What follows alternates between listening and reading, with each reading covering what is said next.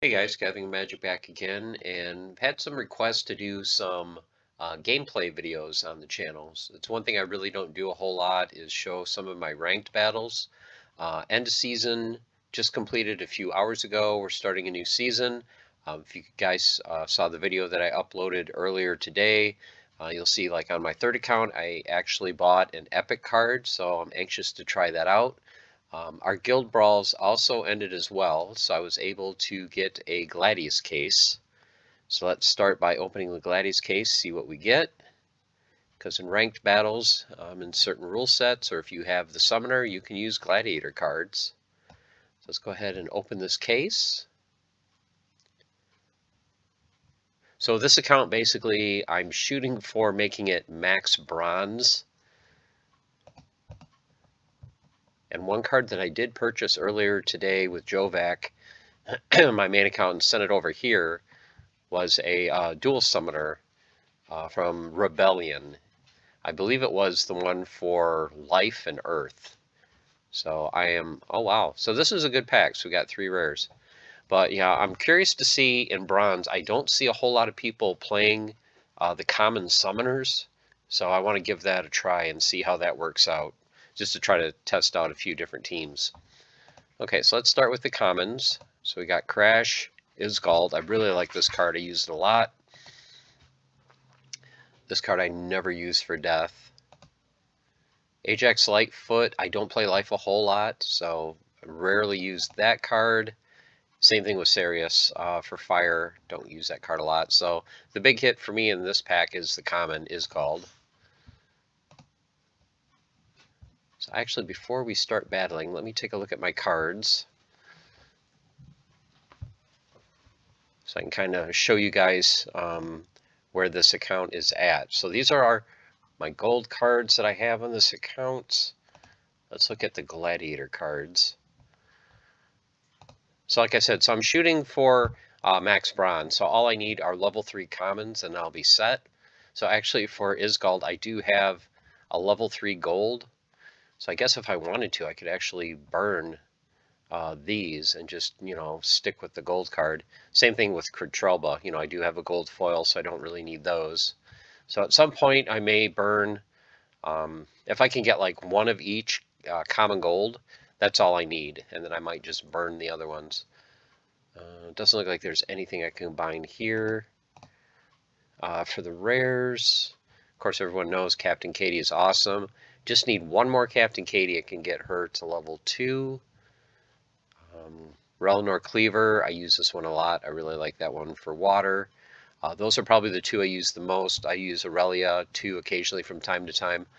One thing I've noticed, especially in the lower levels for me, I'm really missing a lot of two mana cost cards that I think are useful. So that's one thing I might um, check out in Rebellion, as I know there are a lot of uh, two cost cards um, that I think will help fill out the deck. But this is it for my um, Gladiator cards. Uh, for the Epics, um, I actually do have a couple copies of Cora, but still level 1. Marisol I really like as well. And Legendaries, um, I think in one of the last videos that I showed uh, with this account, I actually pulled a Legendary, so that is my only Gladius Legendary card on this account. Okay, so that's for the gladiator cards. So now for rebellion, for the reward cards, this show everything? So I did get um, the first epic. I got Arcane Weaver earlier today, so I'm anxious to try that one out. And like I just said, for the commons, I'm really only shooting for level 3. So once I can get level 3 commons, I'm pretty much done there. And then if I can get my rares, you know, I need to get a single copy of each of them at least. But the goal is to get them to level 2. And then I'll be done. All right, so let's do some battles. So you can see I've got full energy on this account. For me, beginning of the season is usually really, really tough. You know, everyone gets reset lower. They're battling their way back to the leagues they were at previously. So um, I did play a few battles earlier today on my main account, and I think I actually won my first six or seven battles. And I'm like, okay, that's good. I think I'm going to stop while I'm ahead. Okay, so we've got 23 mana, we've got Reach. Normally, on my main account, I would play uh, Possibilus. I don't have Possibilus on this account. Or with Reach, I would play Water. Well, let's try Water. And let's go, since it's low mana, I want you in the second position. I'll put you in the first position. Uh, Uraeus. And like I said, for two cost, I don't have a whole lot of options. I can either go with the Archer, Chaos Agent, I'm going to throw in simply because if someone attacks the back line, this will give Uraeus a little bit of defense, plus it's an extra 10% glint if I win. Yeah, let's go with the Archer.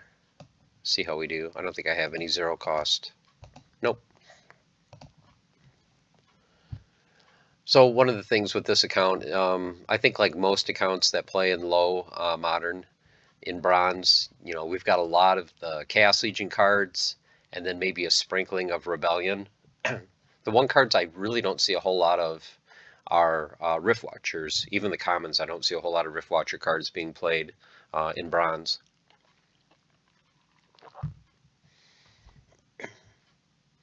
So the next rule set, if we can get somewhere in the mid to upper 20s, uh, maybe I'll try Death and try that new Arcane Healer.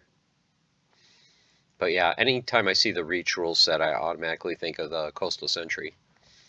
This is another card too. A lot of the reward cards that are just um, that are um, able to be unlocked now, I'd like to get um, gold foils. You know, I only need one copy of the commons, and I don't think they're too pricey. And the gold foil value really adds up to your glint. Um, I had a battle I played yesterday where I actually managed to have all gold cards, including my summoner. And uh, instead of getting around 200 glint that I was getting, I ended up getting like 330. So it does make a big difference.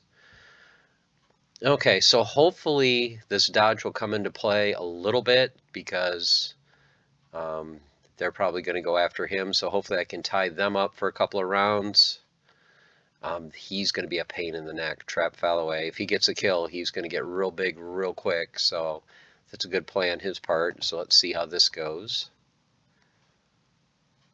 The only thing I don't like is 5 speed and flying. This thing's going to be hard to hit. So you can see that one's dead right away. Yep, there's one miss.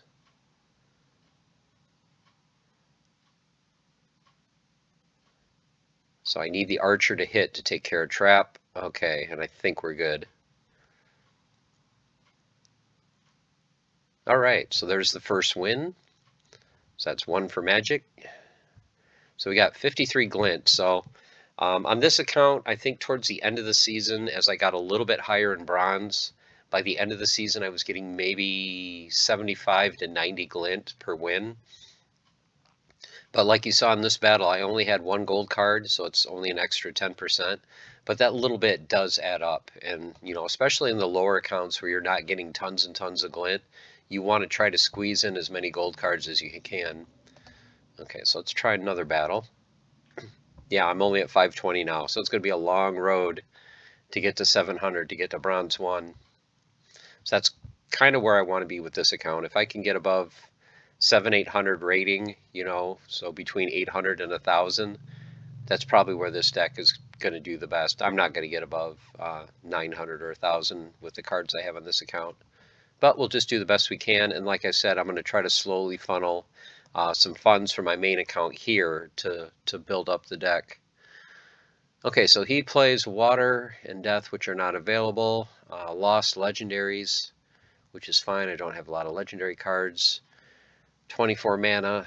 So my thinking is um, Dragon is out just because of the mana. Do I want to go green and go uh, magic damage, or do I want to go red and go sneak? Or another option also, since it's fairly low, is throw in Ketrelba. So that leaves me 12 mana. Uh, let's see.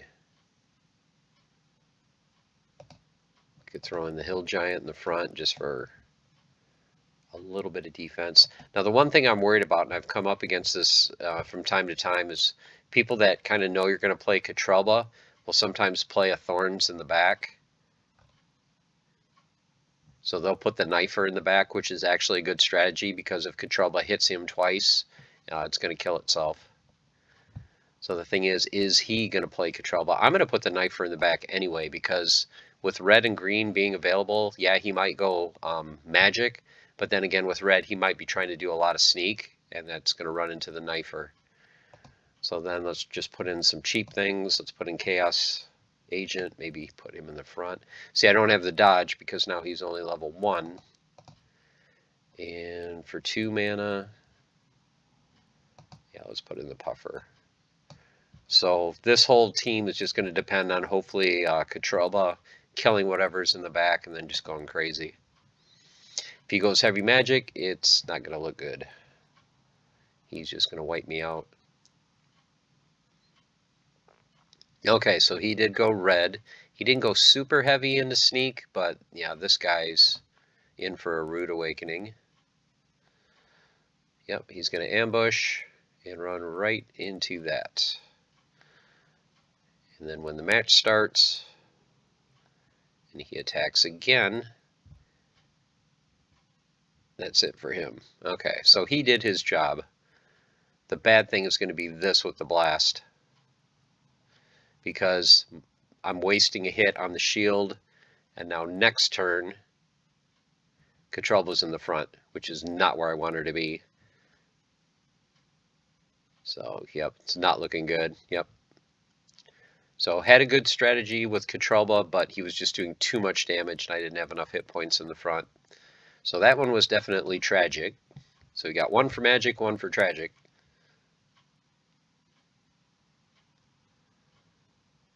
Yeah, so much of this game is a guessing game on what the opponent's going to play. My thought is if they can go magic, they usually will. So that's why I like playing the Death Splinter a lot with Thaddeus Brood with a negative one magic.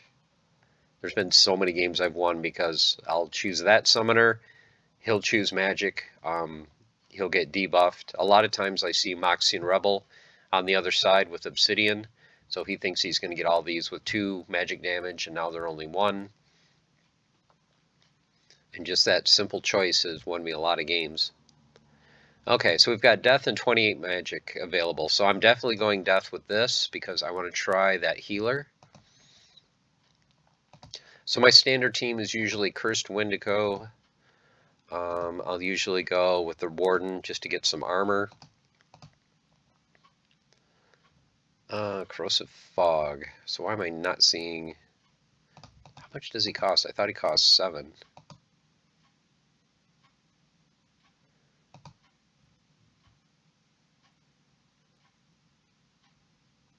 Huh, why am I not seeing the Corrupted Healer? Oh, there he is. Oh, he's only five. I thought he was a lot more expensive than that. I thought he was like seven. Okay, even better. So he's only five, so he gives two magic damage and the corrupted healing. So that leaves me nine mana, which is perfect. Because I love a lot of the three cost cards for death. So we're definitely throwing in the two sneak. Now I can either go with the hireling to repair the armor. Or, yeah, let's do that. Let's put the hireling there.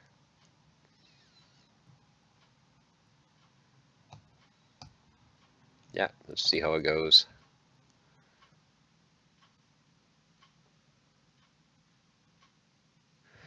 The key would be with, uh, I think that with this Corrupted Healing, if I was able to play and owned a lot of the death cards that have Scavenge, you know, because that's kind of kind of offset. And yep, so he's got a double Martyr going for Cora. So this probably will not be pretty. I think I'll be able to take out his healer, but Cora is going to be the issue. But then again, I might be able to heal up a little bit. Okay, so she gets a buff. Okay, so he's got affliction, so that means corrupted healing won't work.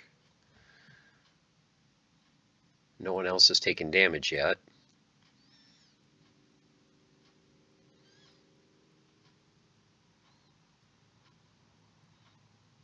Okay, so I got to heal.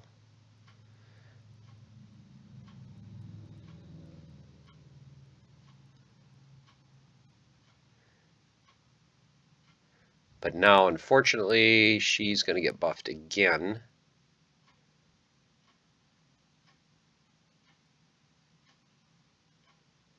And again. So this is where Cora wins the game because I'm not going to be able to hit it. So we're just going to go ahead and skip this. We all know how that's going to end. So that didn't turn out well. Sometimes the simplest strategies are the best. If you can play Cora, play Cora.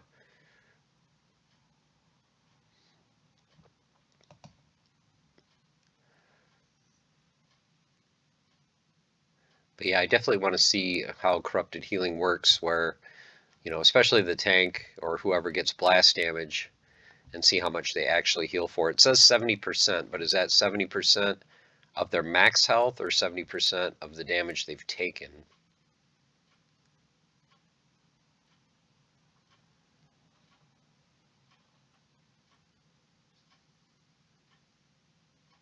But yeah, let me let me know, you guys. Do you know um, how the corrupted healing is supposed to work? Have you used any of the new um, epics in ranked play? Okay, so we've got 28 mana again. Let's see which elements are available. So this one is Thorns. So let's go ahead and try Death again. That is Brood. Okay, so I do have Scavenge with Riftwing. So that would offset some of the damage it would take. I like Silent Sha-Vi. So everybody gets Thorns though, so I don't want to do a whole lot of melee damage. So I probably should go more magic. Definitely want to have armor. Yep, we want to see how you work. Um, who else? Well, let's take out Silent Sha-Vi. Let's put in Hardclaw. I could go armor repair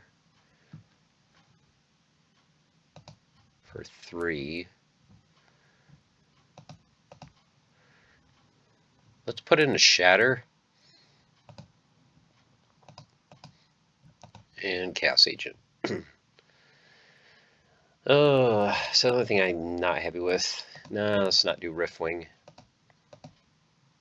Let's go for I like Dark Arborist. I don't know if he's going to do a whole lot of melee. Or do I want to stun? Let's go for a stun. Okay, see how that works.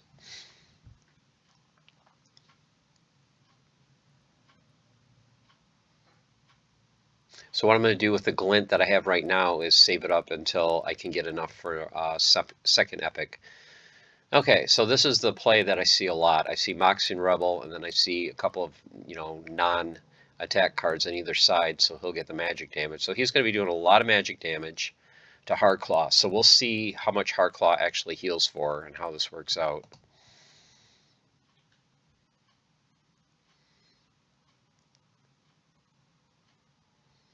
So we're going to get pinged for one damage a lot.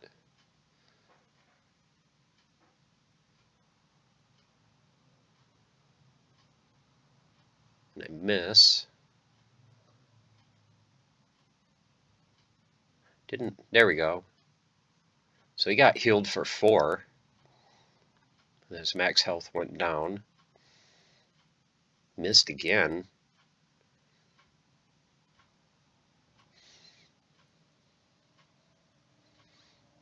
So far the healing is helping keep him alive. Unfortunately, three misses in a row, really?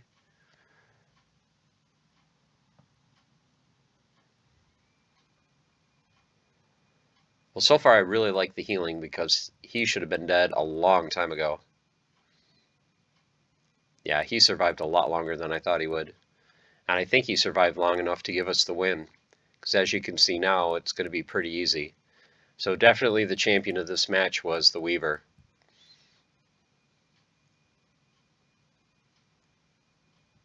So just in that battle alone, I can see the power of that card. So I'm really anxious to play that card uh, with Jovac with my main account, where I have a lot higher level cards and a lot better cards. Um, especially I have like uh, Curse Wendigo with healing. So if it can heal itself, and then if it's still not at full strength, you know, the Arcane Weaver will top it off. That, that will be huge. Even if its max health goes from 11 to 10, you can see the power of, of that card already. And another key is going to be too, if I get into some sort of a blast rule set where I have multiple monsters uh, taking damage, you know, it's going to heal all of them. So that's that corrupted healing is almost kind of the counter to uh, blast battles. Okay, so we've got the poison rule set, 43 mana. So with 43, I like going uh, dragon. Unfortunately, the only dragon summoner I have is only level 1 but we can try it. And let's go death so I can throw in the healer again. Okay, so what do we have for large amounts of health?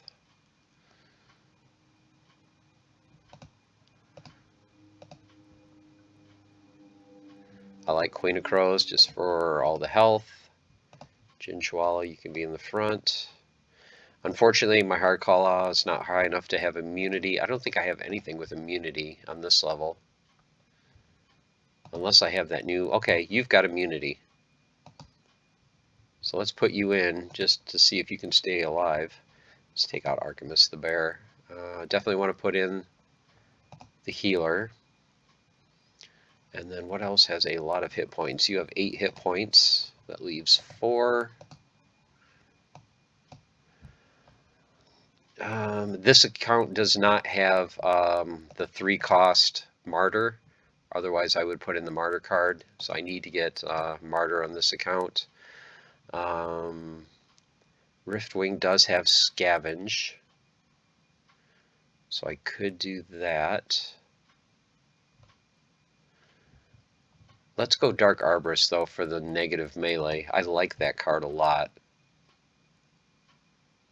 So let's see, who do we want where? Let's put Queen of Crows in the back. Yep, let's just see what happens. A lot of times in the poison rule set, it's like I just want to try to outli outlive the poison and let him die. Because you can see a lot of his are low level, you know, four and five um, health. He does have a couple melee, so the Dark Arborist will help slightly.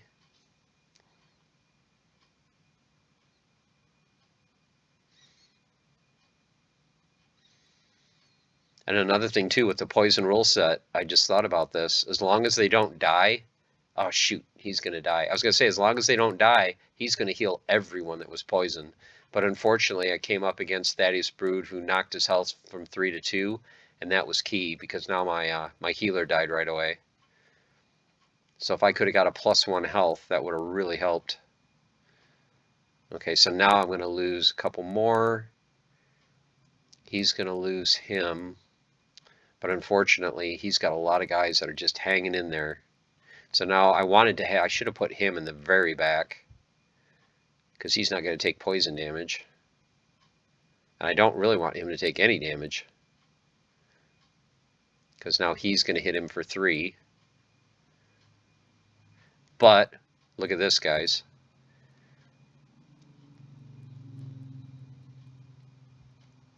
Here's the power of immunity. You're poisoned, I'm not. So, one of the new uh, Soulbound reward cards came through. So it wasn't the healer that time. And this is a card, I don't know if I would ever play it other than in a Poison Rule set, but you can see it came in, in uh, pretty clutch right there. Okay guys, there you have it. I'll wrap up the video. We've been over uh, 20 minutes. Um, hope you enjoyed. Um, hope you learned a little bit about maybe some of the new reward cards. I don't know if you've had a chance to play them all or not.